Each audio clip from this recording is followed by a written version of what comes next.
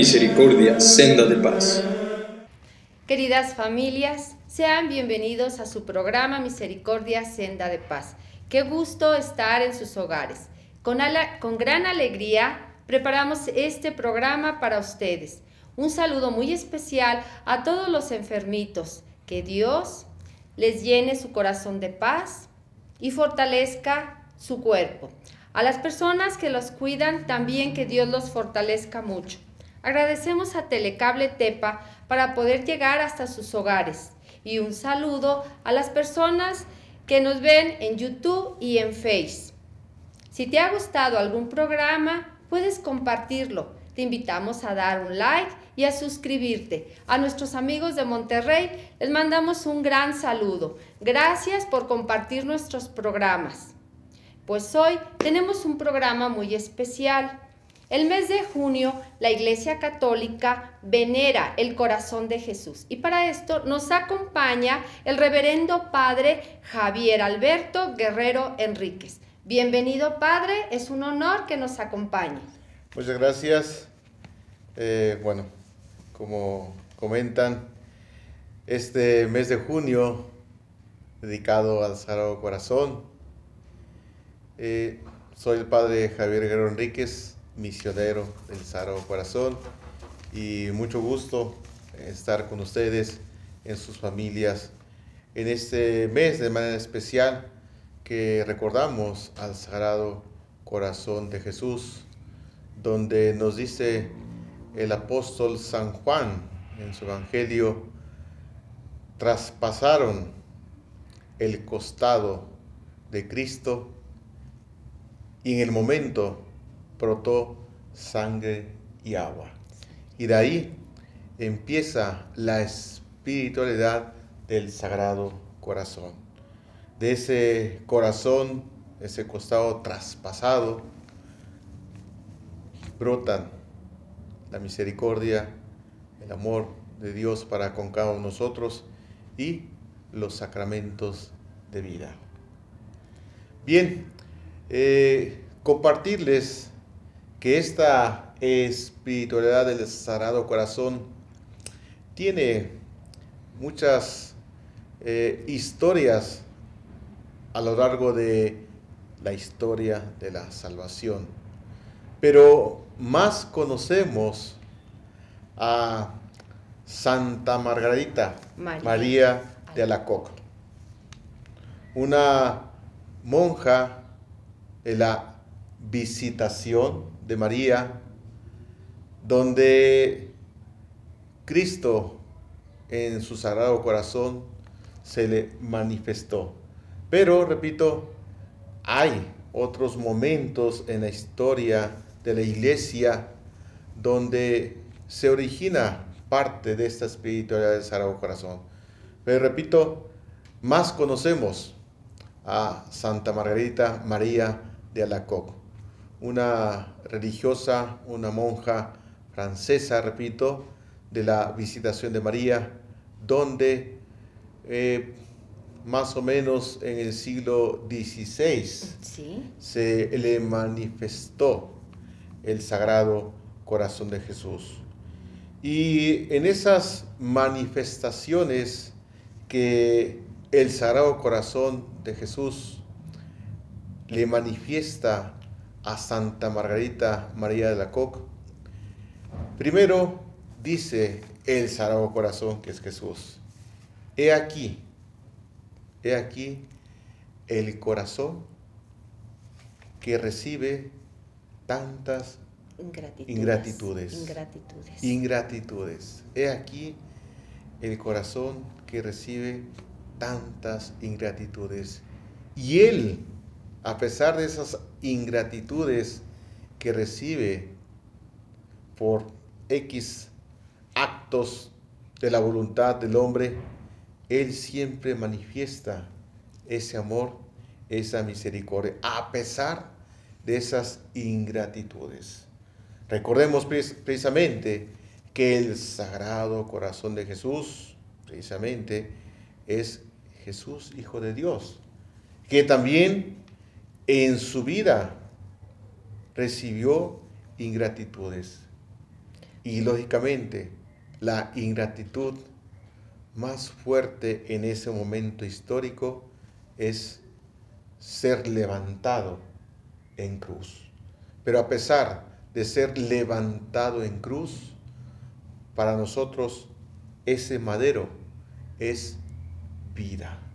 Por lo tanto, en el Sagrado Corazón de Jesús, aunque el hombre le da ingratitudes, Él por su infinita misericordia vuelve a mostrar su amor por cada uno de nosotros.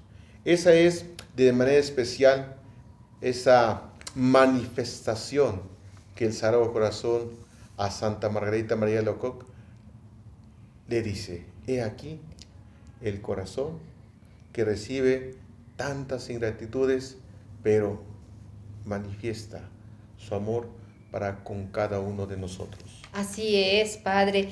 Este, tengo una frase muy hermosa que el padre, el Papa Juan Pablo en el año de 2004 nos dice.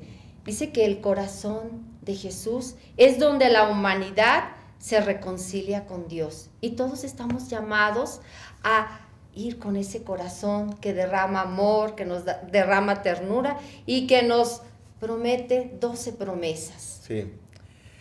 ¿Verdad? El Sagrado Corazón de Jesús a Santa Margarita María de la Coque le manifiesta 12 promesas. Más arraigada de las 12 promesas, más arraigada es la los viernes primeros de mes. De cada mes, ¿verdad? Precisamente, precisamente cuando el corazón de Jesús se manifiesta a Santa Margarita María de Coque, es en la octava después del Corpus de Christi. Christi. Y precisamente eh, vamos a celebrar después del Corpus el, la semana pasada, Sí, acabamos de pasar. el Corpus el jueves pasado.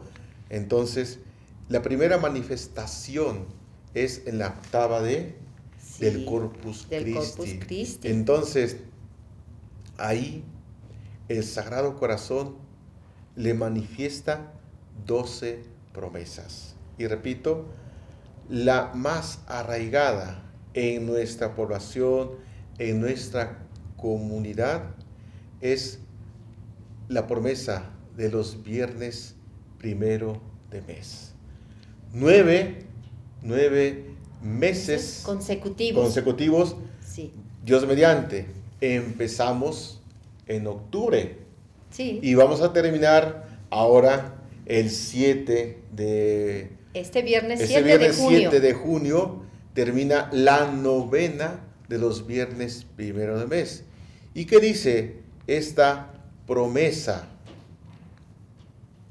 Quien cumpla los nueve meses antes de la fiesta del Sagrado Corazón, que es en junio, no va a morir sin los auxilios necesarios. En ese caso, el sacramento de la Eucaristía y el sacramento de la reconciliación. No a morir sin los auxilios de Dios. Por eso, en nuestras comunidades, repito, está más arraigada esta promesa de los viernes primero de mes. Pero repito, como comenta Margarita, perdón. Margarita, Sí.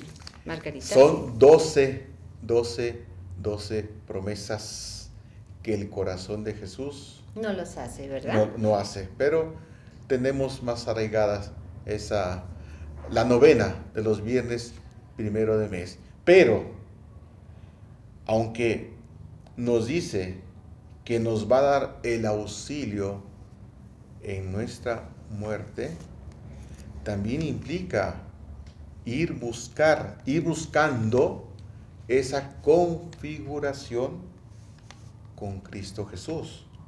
Porque no solamente quiere decir hacer los viernes primero de mes, sí, pero ir buscando la configuración con Cristo Jesús.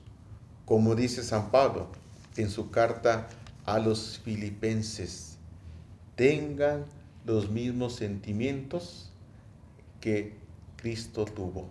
¿Y cuáles son los sentimientos de Cristo?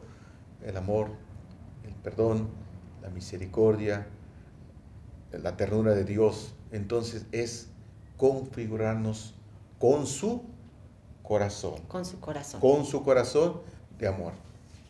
Es maravillosa estas promesas que el Sagrado Corazón de Jesús nos hace. Aprovechemos. En una de ellas dice que si tienes una imagen del Sagrado Corazón, dice que bendice, bendiceré los hogares. Qué gran oferta, qué maravilloso nos dice. Todos tenemos que tener, no debe de faltar el corazón, el Sagrado Corazón en cada hogar, aunque sea pequeñito. Podemos venerarlo y ofrecerle nuestras familias al Sagrado Corazón. A las almas también nos da esta promesa que a las almas consagradas a mi corazón les daré las gracias para cada estado de vida. O sea que si son sacerdotes, consagrados, casados, vamos a tener esas gracias especiales para seguir en nuestro camino. Es muchas gracias abundantes. ¿Qué más que necesitamos la gracia de Dios para cada quien en su estado de vida, siempre buscar el bien para los demás? Porque a veces la tentación pues hace su trabajo, pero qué mejor con la gracia de Dios a buscar siempre el bien para los demás. Entonces aprovechemos estas promesas y dice, te consolaré en las penas. Actualmente, en cualquier estado de vida tenemos diferentes situaciones día a día. Y con estas gracias, pues podemos seguir adelante y podemos salir fortalecidos. Así es, ¿verdad? Una, algo muy bonito que también nos promete es tocar los corazones más duros hay personas muy difíciles que no se quieren acercar a Dios y no los convences. Pero Dios te va a dar la gracia si tú oras al corazón de Jesús para moldear ese corazón difícil y que Él entre en ese corazón porque Él es el que tiene el amor y la ternura para llegar a estos corazones más duros. Exactamente que ese corazón que a veces tenemos de roca, de roca, que cada día sea más, más como el del corazón de Jesús, más humano para los demás. Porque a veces, repito, tenemos un corazón muy, muy difícil de roca. Ay, sí. Dice, seré un refugio seguro en tu vida y en tu muerte. Qué gran alegría que sabemos que toda tu vida te va a acompañar. Vas a sentir ese amor, esa alegría y en la hora de la muerte vas a estar con esa seguridad que no te va a faltar los santos óleos. Vas a estar ahí. En la, la presencia de Dios va a estar ahí en ese momento. Qué bonito no tener miedo, estar en paz. Una de las cosas más bellas, Padre, de las promesas también es donde nos promete consolar a nuestras familias, cuidarlas y darnos paz.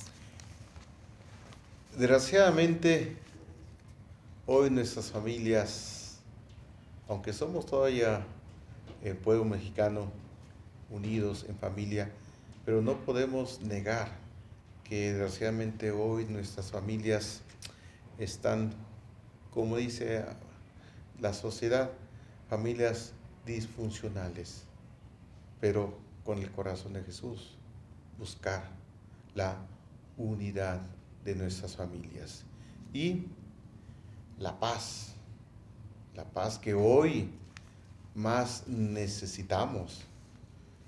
Recordemos lo que nos han dicho últimos días, semanas, nuestros obispos mexicanos. Tenemos que ser agentes de paz. Desgraciadamente, hoy vemos nuestra sociedad mucha violencia. en familias, en nuestra sociedad, mucha violencia. Y no podemos quedarnos cruzados de brazos o acostumbrarnos a vivir así. No, no podemos. Al contrario. Y que sea vea al contrario, buscar esa paz. Y esta promesa del Sagrado Corazón de Jesús nos tiene que calar, calar hondo a nuestro ser como cristianos católicos, repito, como dicen nuestros obispos mexicanos, ser agentes de paz. Hoy, más que nunca, necesitamos la paz. En nuestro corazón, la paz. En nuestras familias, y lógicamente, la paz en nuestra sociedad. En nuestro país, México, y lógicamente, la paz en el mundo.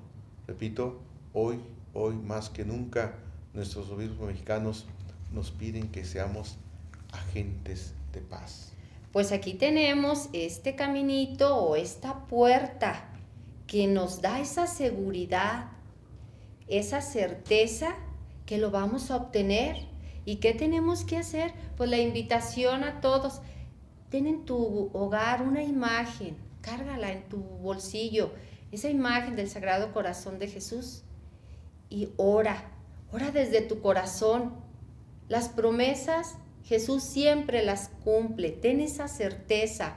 Y es pues una gran alegría de saber que no estamos solos, que a través de su gracia Él nos va a ayudar a que en nuestras familias, en nuestra sociedad, haya esa paz.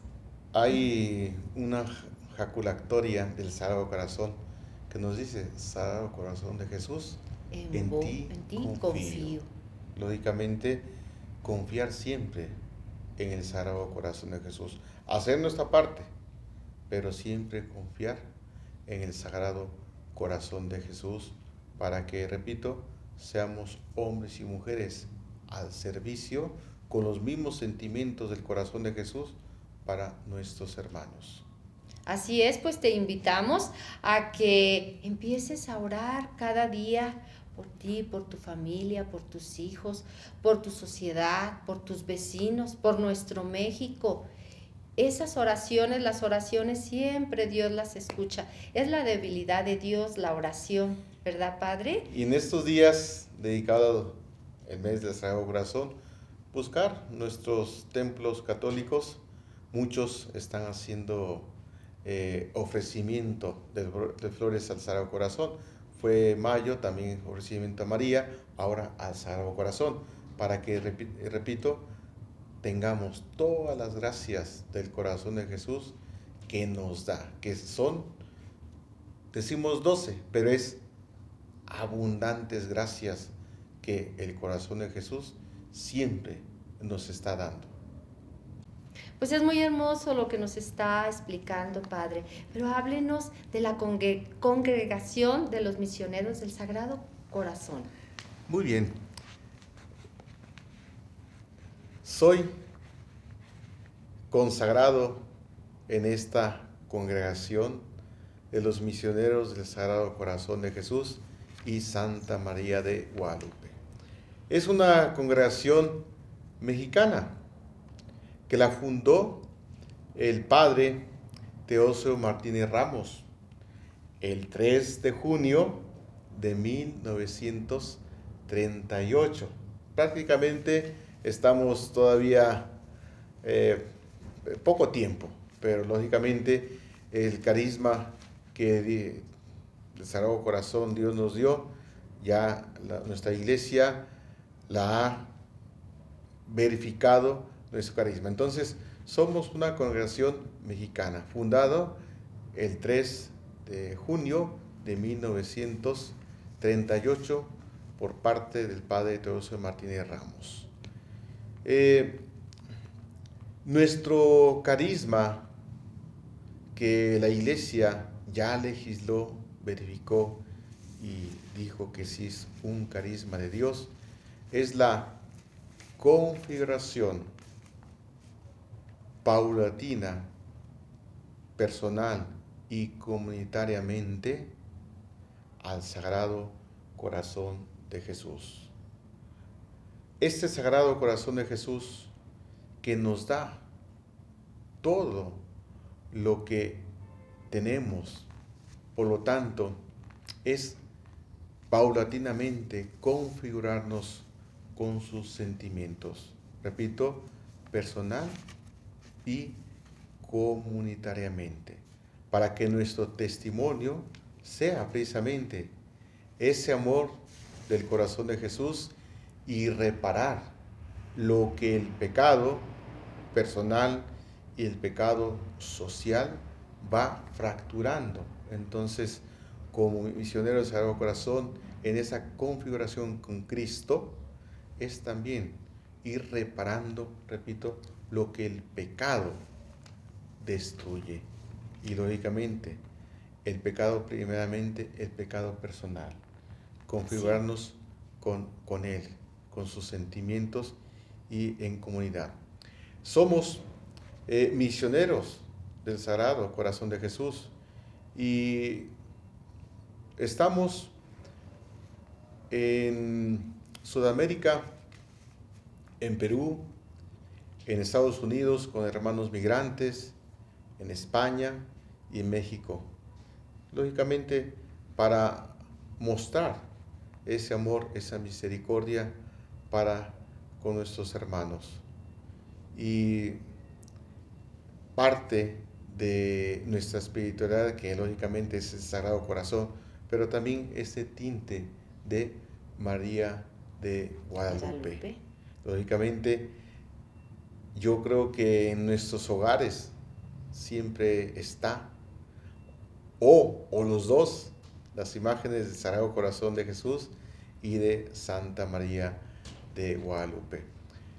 Estamos en estos lugares y como nos dicen nuestras constituciones, para establecer el reinado del corazón de Jesús. Esa es nuestra misión. Después de ese carisma, nuestra progresiva configuración personal y comunitaria, ya con la comunidad, es establecer el reinado del corazón de Jesús. Muy bien, qué hermoso. Se ha extendido en muchísimos países y no cabe duda que se desborda el amor y la ternura de ese corazón. Así como le dijo a Santa María, este, y cada vez que se vaya extendiendo más, y cada uno de nosotros podemos empezar con una jaculatoria, con la imagen en nuestro hogar y así extender esa devoción tan bella y tan hermosa. Y también pues invitarte a sumarte al reto de comulgar los viernes primeros de cada mes, ¿verdad, Padre? Sí, este, iniciar eso. Antes sí lo hacíamos mucho, pero ahorita como que los jóvenes no. Pero lo invitamos a este reto para que vean cómo se van a ir fortaleciendo y acercando cada vez más a ese corazón que siempre nos ha amado. Y Dios mediante, este viernes 7 de junio, que vamos a celebrar la fiesta del Sagrado Corazón de Jesús, que Él inflame nuestro corazón. Dejemos que irradie nuestras vidas, irradie nuestro corazón, irradie nuestra sociedad. Nosotros, como misioneros del Sagrado Corazón, es prácticamente nuestra fiesta patronal. En las diferentes comunidades donde estamos, tenemos que celebrarlo. Igual con la comunidad, porque repito, tantas gracias que el Sagrado Corazón de Jesús nos da. Y como recuerdo al inicio del programa, cuando se manifestó el Sagrado Corazón de Jesús a Santa Margarita de María de la Coque, un corazón que recibe tantas ingratitudes, pero siempre nos da todo el amor, la misericordia, el perdón para nosotros. Pues ha sido un gran gusto que nos haya acompañado y felicitamos a todos los que llevan el nombre de Jesús o María de Jesús en este día tan especial para ustedes, pues que Dios los bendiga y nos puede hacer el favor de darnos la bendición, Padre. Muchas gracias en sus casas que nos han acompañado en estas pequeñas reflexiones y que el Señor siempre esté en sus hogares, en sus trabajos, en su vida. El Señor esté con todos ustedes. Y con tu espíritu. La bendición de Dios Todopoderoso, del Padre, del Hijo y del. Espíritu Santo. Amén. Amén. Pues muchas gracias por habernos acompañado y los esperamos en el siguiente programa. Dios los bendiga.